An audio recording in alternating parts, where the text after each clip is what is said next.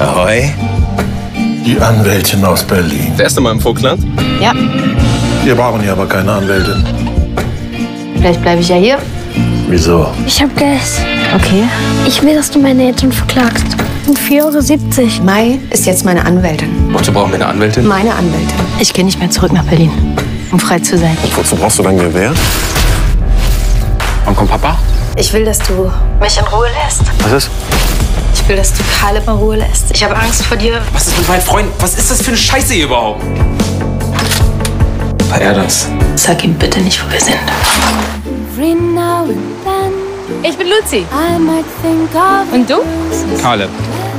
Ich weiß gar nicht, ob du das überhaupt magst. Es sollte mehr Männer wie dich auf der Welt geben. Ist es eigentlich ein Problem für euch, dass ihr beide mit mir schlafen wollt?